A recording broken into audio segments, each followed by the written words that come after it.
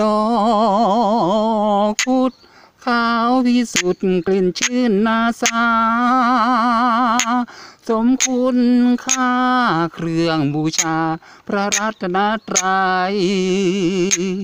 ความน่าถึงหนึ่งหนึ่งของดอกไม้คือสิ่งชวนใจโน้มนำสู่ความดี